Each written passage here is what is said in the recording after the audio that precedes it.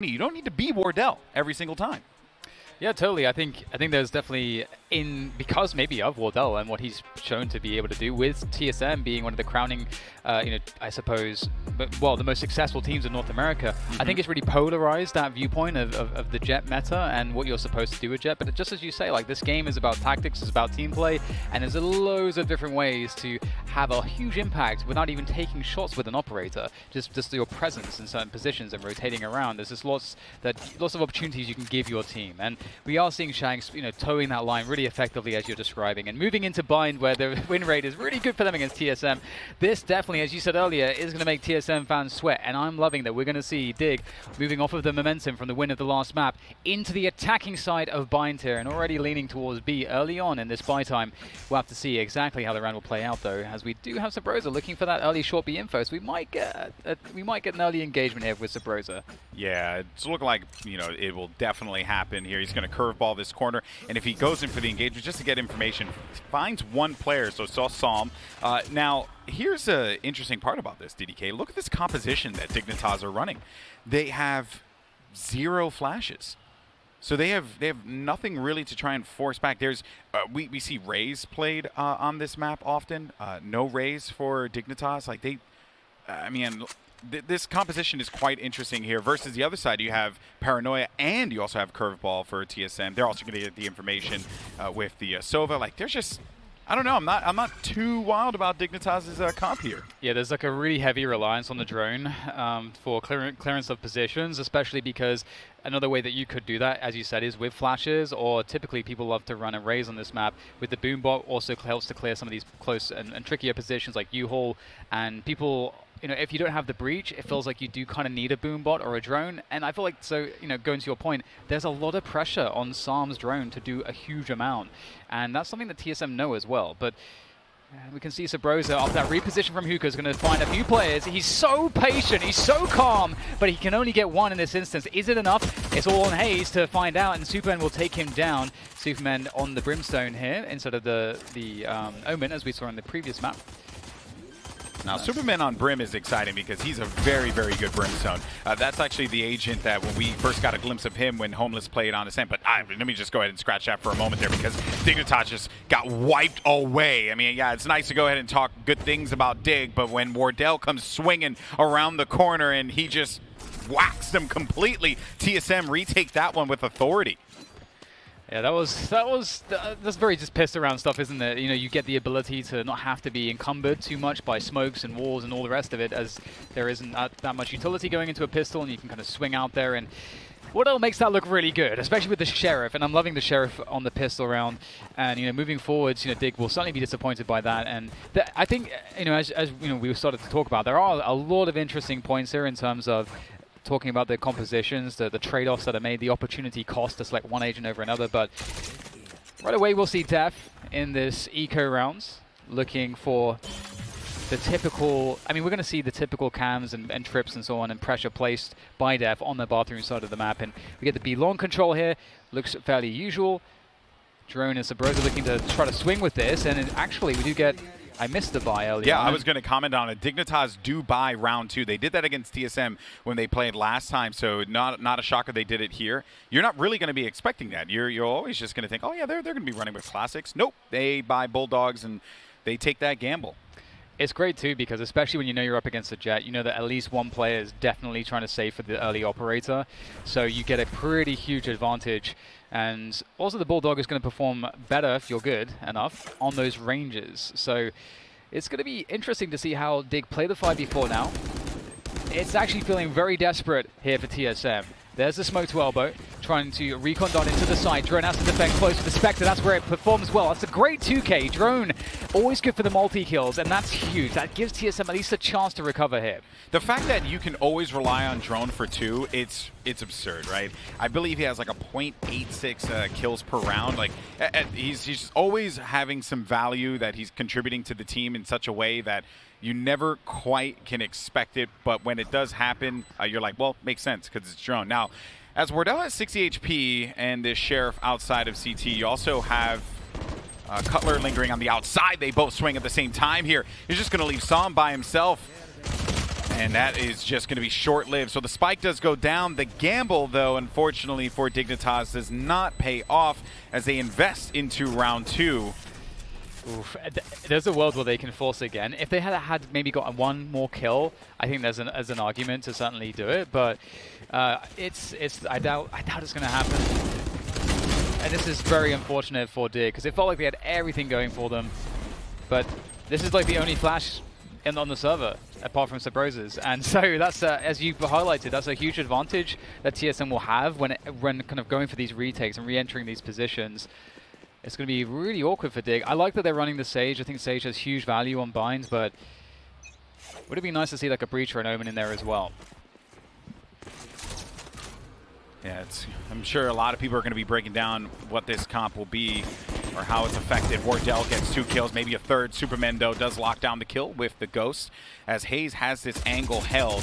It's going to be rather weakened off screen and we just switch to it. Drone gets one. He's again, he's good for two. That just seems to be uh, that's his brand at this point. Should be on his Twitter uh, bio. he's like, I'm drone and I'm good for two. Superman doing everything he can to just try and hold this off, maybe get another kill, but Subroza around the flank is going to handle that one easily. They Every single time, it's come down to just two players for TSM. Dignitas, even with you know weaker guns or certain circumstances, they managed to get kills, uh, uh or, or, sorry, Dignitas managed to get kills against TSM. Uh, they just can't seem to wrap up these rounds, but now we're going to get some buys here for Dignitas. Yeah, and TSM's money is not very good given how many losses they sustained over these rounds despite winning them. So if they were able to get off to a good start here and, and pick up this round, they're going to be able to switch things up. And we have that. Uh, we might get this. We'll get the Sage ult combo. Oh no, this could be good for three kills. We might get the Ice Orb to the back of Showers and the ult into Showers possibly. Oh, they're waiting for it. Okay, I've, I've, we've seen that before um, a couple days ago, and it was phenomenal. And I was really hoping we would see it here. You just want to see people burn. That's basically yeah. it. Um, I, I, respect that though, and and the reason why I love that is because as a guy who plays Brimstone a lot, I love that combination. It's a very typical combo, uh, but it's when it happens, it's so effective. Uh, now though, as Dignitas, uh, with their better judgment, they decide to just wrap around A, come over to B. Shanks is going to finally come online here with a kill against Subroza, leaving Cutler and Wardell inside of the B site here to try and deal with whatever aggression would be coming out of Dignitas. Potentially, Wardell does get the mark against Shanks. He has been winning that battle fairly consistently. And this is this is a moment now where you know you would expect it to reset. as far as TSM are concerned, there's been pressure sort of on both sides of the map, and it's kind of hard to know exactly what Shanks was up to there. Is he just taking ground after the kill and just trying to make a play by himself, or is a team there? It's it's really hard to know. And we'll get a drone down short A, so that's info for TSM. They're trying to work out what's happening. And with oh, two players in bathrooms and droning out of bathrooms, now it's super confusing for TSM. The bomb is, of course, the spike is towards the B side, Ooh. can go through the telly if things go well towards A.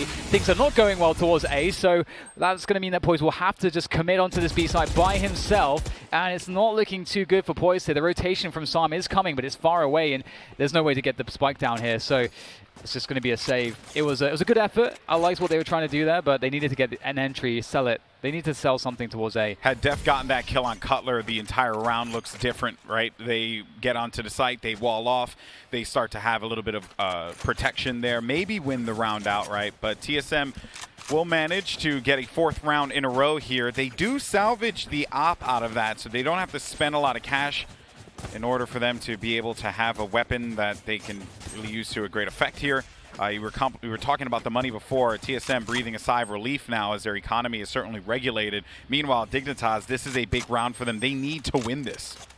Yeah, and it's, it's really unfortunate for Dig too that they, they did use the orbital strike and it didn't really work out for them. And we'll see the Ice Orb going deep here. And this is this is a great Ice Orb. This is one of the reasons why Sage is so good on this map, because this prevents any kind of a peak, which means now players can be really close, or maybe they're not. So it forces Subroza. He's going to pop the runner back. He's going to go straight in with the double curveball, trying to find a headshot. Subroza is really, truly nuts.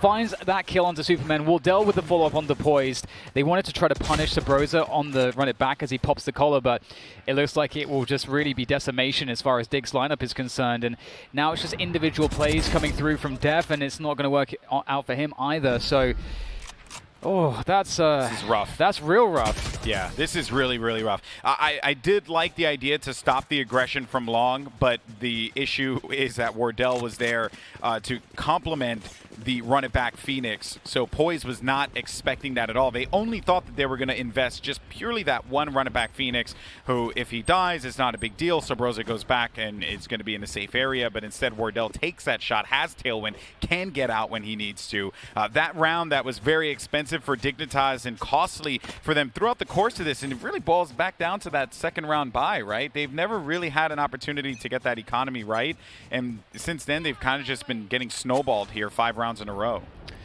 Yeah, it is starting to get a little, little bit out of hand, and we'll have to see if they can find a way to mix things up to find some success. The Uh, defaulting isn't working for them right now. It's a nice opening kill from Subroza. Ever the menace is Subroza in that B-long position. His flash play is just fantastic. And I feel like, you know, having Subroza on one end and Drone on the other, it's it's, uh, it's definitely a deadly force, and I think it speaks to a lot of the firepower from the rifles that we see out of TSM so consistently. I'm always looking back at those players and being impressed. And Dig here, it's all on Shanks really. In terms of the firepower, he's got the ultimate here with the knives. Could have a jump and a float maybe to catch Subroza, but oh, there it is. And Shanks will nail him with that one. So 50 seconds to go, and there is a chance here for Dig now. There's some time, but Wardell with the angle on top of the truck here in U-Haul. We'll end that. Goodbye, Shanks. Good try. Maybe Wardell's going to look for another one. Ah, you'll get it with the Sheriff instead. Six rounds straight for TSM. They're going to let him know all these old tricks, uh, you know, the, the attempts to pull a rabbit out of your hat has not worked out. What has worked is just pure aggression from TSM here on Bind. It's been kind of beautiful to see them break down Dignitas like this after what happened on Haven. Yeah, this is the start they needed, that is for sure. And it's a 6-0 now for TSM. Dig still with time and money to turn things around. We see a full buy from them. Shanks on the operator again, as is Wardell, as we would expect. And in terms of the ultimates for Dig, they've got the res for Sage and the Neural Theft for Cypher, but that's about it.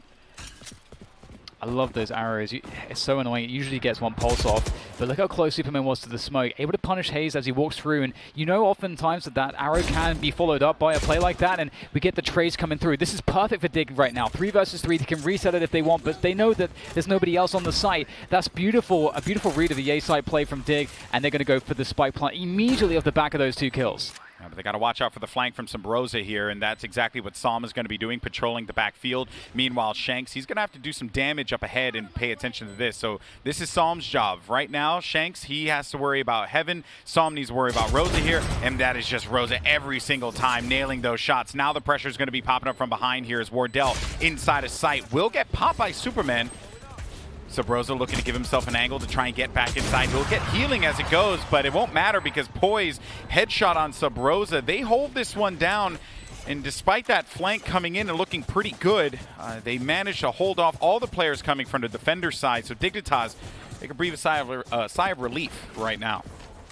Yeah, and it's one of the questions is, you know, when you see a big drought like this of rounds for Dig, struggling to find success, the question is after they do get some success is, is that success replicable? And if we look at where it came from, you know, Dig, they, they got the challenge from TSM. It's actually TSM trying to take the initiation initiation towards that showers position true, with the true. recon, with the smokes and so on, and really forcing the issue, and they didn't win that battle. And that's how Dig got the round. So still, there's still no answers necessarily, but Dig will start off with that early bathrooms pressure. They want to, if given the opportunity, they want to start the round the same way as, as previously, and they're going to get that early bathrooms control. So the question is now, do they want to pressure the other side of the map, or are they just going to change the pace and just go for it? Off of the back of this initial control. They have ults to deal with that too, right? They can actually put an orbital strike down on lamps to force players out of that, give them an opportunity to try and uh, take site control. Uh, they also have Hunter's Fury too. I would expect to see maybe some ults taking place, little drone wars as well, brought to you by your host Chris Jericho. Uh, that's a reference for a TV show that maybe not a lot of people saw. BattleBots, I think it was. Anyway, now though, uh, we have a waiting game here. Is the, the, the two drones, the rival drones on each side, trying to get some information. Wardell with a great spot here. And then Hazed pushed up ahead. So Shanks is going to make him pay for that, and Wardell drops down so Superman can profit off of that. And here comes the Hunter's Fury, clearing out anything that will be taking place over on Lamp, so no one will be in that area. They can push that completely. Def is going to be on the other side. This is looking good for Dignitas as they try and just climb their way back into this game. Such an interesting look as well, you know, not having a Raze on on bind is is you know not having any of those bombs. it's, it's looking really difficult here right now for TSM. Oh. Drone, though, as you said, always good for true. Two, my name's Drone, and it seems like it will just be two this time as well. Shanks takes him down, and it's not that much that Cutler's left here with as he approaches from heaven, but there's really the ability for every angle to be covered at this point. All the info is there for Dig. They've got the cam in bathrooms. They've got the trip up on the short position, the flank position. So there's really no way for Cutler to, to get onto the spike and and deny the exits as well. So this is really interesting as well because Alex, we, we didn't see the orbital, orbital strike expended. It was just the Hunter's Fury was Yeah. the was the ult of choice, and that was enough. And th- that's really really cool to see. And and in terms of retake ability, I am curious what uh, you know how successful TSM will be in terms of their composition for the retakes. A- Again, as I mentioned, you know when we see that Raze so commonly, as well as the Sage, I feel like those are two uh, agents that are not with TSM's comp right now that are super helpful on retakes, especially with the short plant, like as we just saw.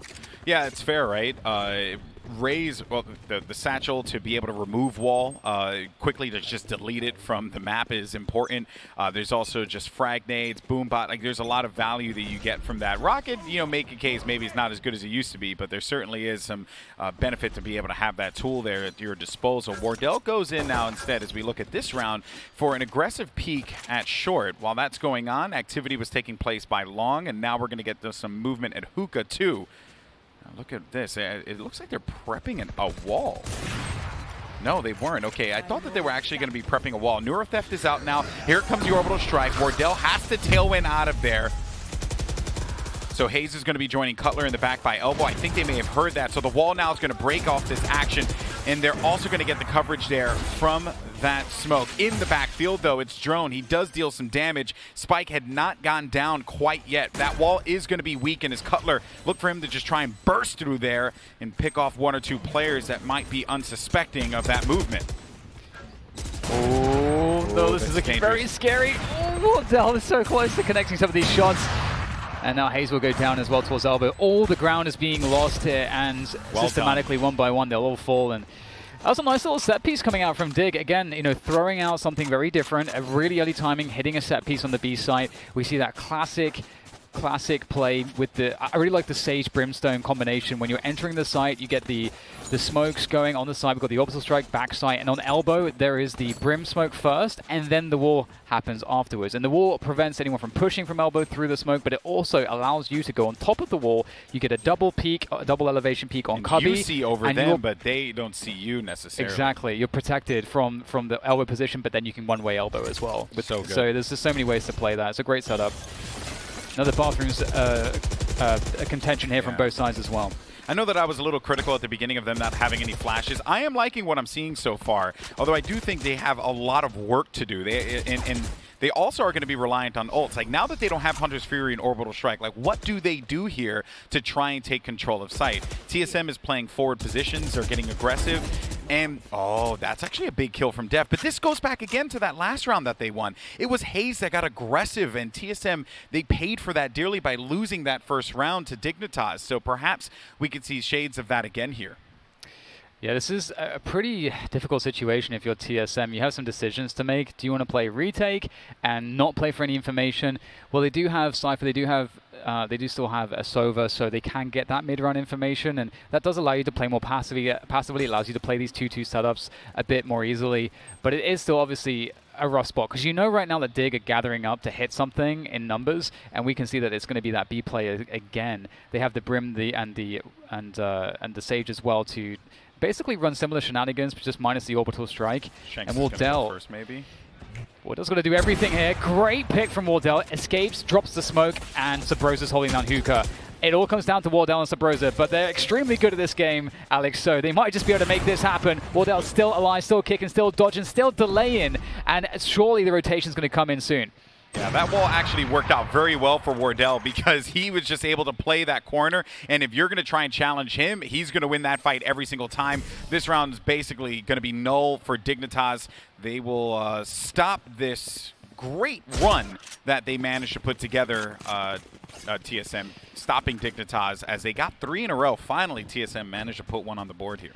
And you know what was missing there, Alex? A flashbang of they had a any fla- kind. if they a had leer, anything, a curveball, you a paranoia would have forced that back. Any of the any of the above.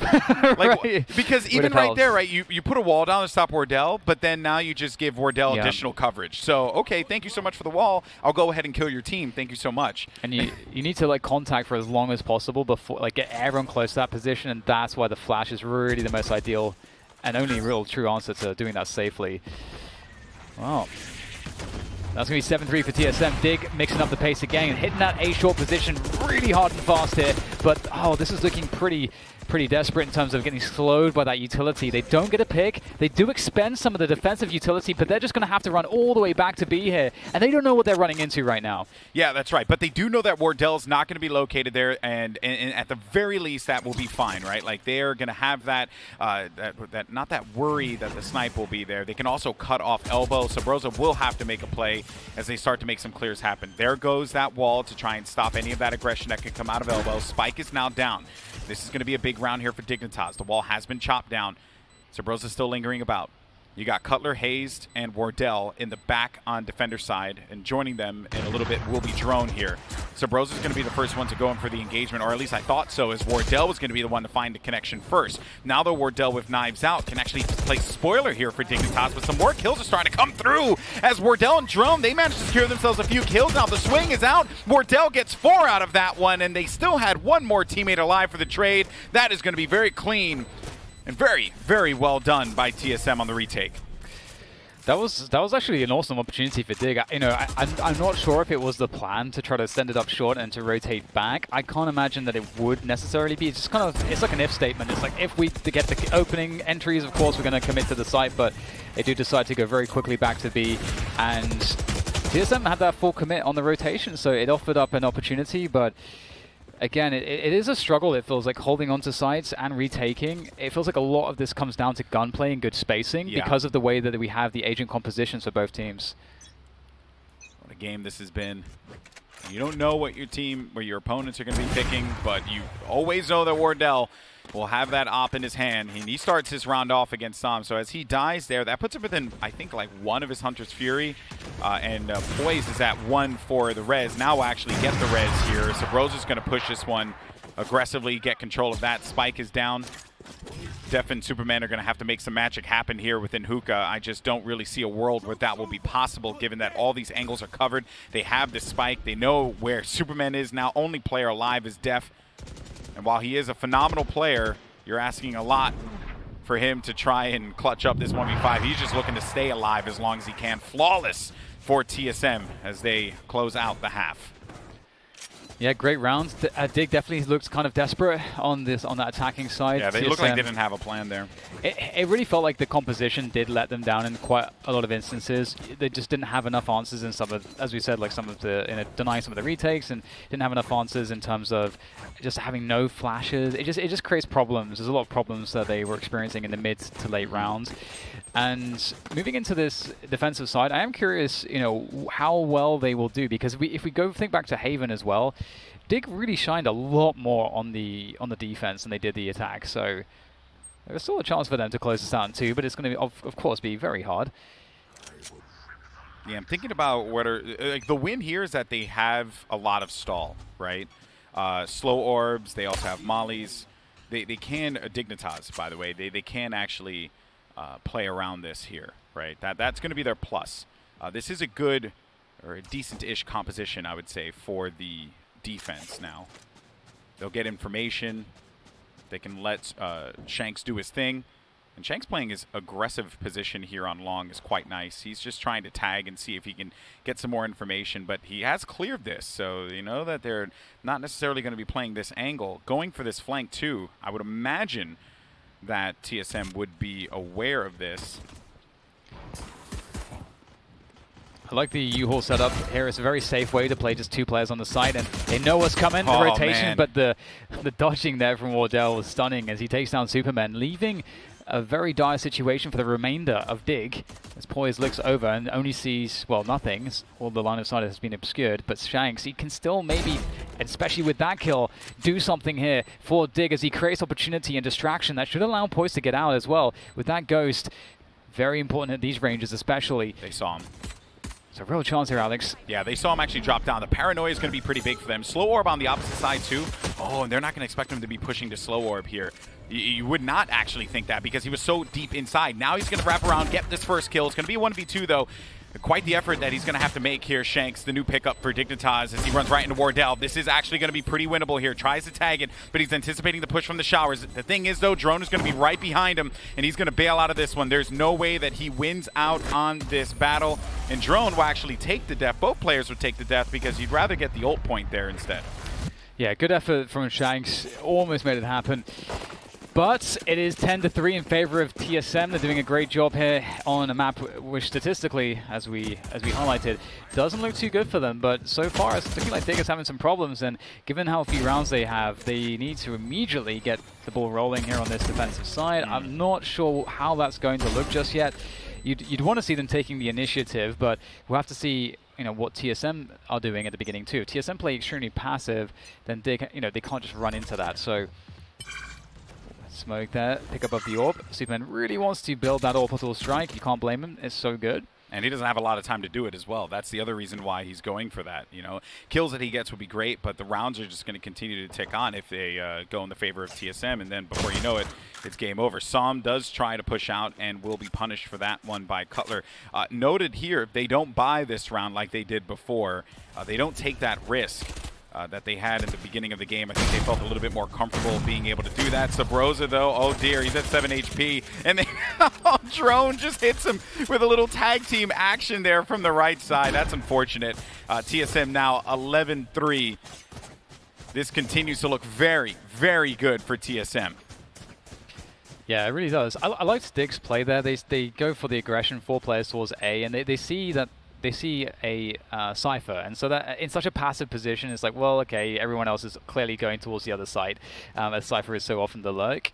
But you know, moving into the gun round, this is really this is this is it. This is this has to work. And as far as you know, Dig are concerned, they're actually in advantage on the firepower because they're up against so many Spectres, and they're going for a huge swing out here towards short B control. Love this. Wardell, oh, trying to punish him badly. He doesn't have the operator just yet.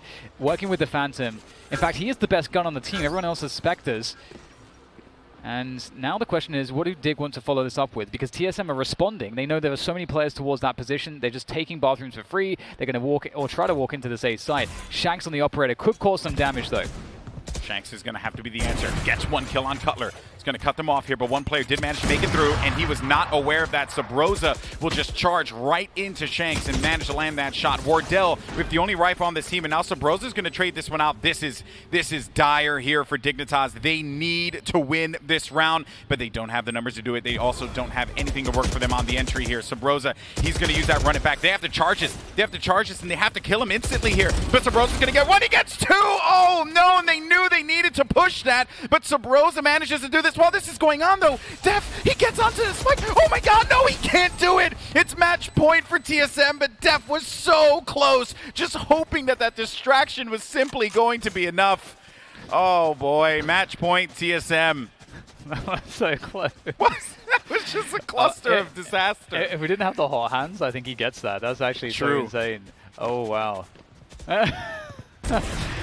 This is a this was a great initial set setup. Shanks this shot, because and it's because of the aim punch. Subroza dinks him, and so I, I actually imagine without the aim punch, I think Shanks hits that shot. And he gets hot hands because he kills these two players here. Oh my god. And then he roasts death. Oh, oh god. insane. But into the next round, this could be it. This could be the death knell if signing off for Dig if they aren't able to find a way to win this round. They don't really have that much equipment to work with. They do have the Jett ult though, so Shanks really again the focal point of this round. And Dig, he's going to get flashed immediately. They don't realize that he is here. At the right click, though, if he's able to reset afterwards, oh no, Subroza annihilates him, and with that, maybe they have annihilated the best chance for them to come back in this round. Superman still something to say about it with that Bulldog from Heaven, but TSM right now, they have Got so much position. oh my god, back-to-back -back rounds, run it back. so impressive, man. But the spike is going to go down. TSM, they have the advantage. It's only going to be Psalm, the last player left alive. He's looking all over the place. Chicken with his head cut off. And that is going to be Dignitas taking the game here. And what a match this has been so far for TSM versus Dig. We're going to be going to a game three. Absolutely, Color. He's uh, he's just relieved at this point. that was a that was a crazy game, and it's uh, it's, it's sad to see that Dig couldn't find Yeah. find their footing more in, in that matchup. You know, you got to give uh, give it to TSM again. TSM between Subroza and Drone.